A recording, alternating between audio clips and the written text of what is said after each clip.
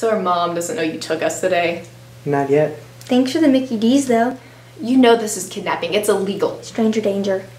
There's gonna be an Amber Alert, a police chase. You're gonna get man raped in prison. Man raped? How do you know what that is? MSNBC dog clock. We really need to change your guys' viewing habits. And I'm not a stranger, I'm your mother's boss.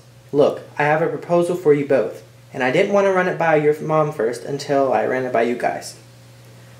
I want you to pretend to be my children. Why don't you just tell that poor girl the truth? You know.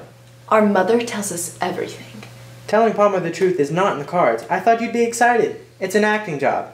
If it's an acting job, then we should get paid. You'll get paid in experience. Will this help me get my SAG card? No.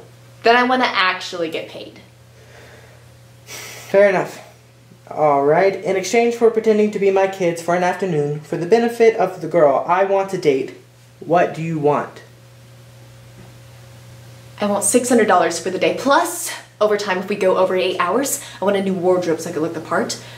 And I want you to pay for the six week intensive acting camp my mom can't afford. $50 for the day. No on the wardrobe. You already look the part, and I'll pay for a two week inexpensive acting class. $300 and a four week acting class.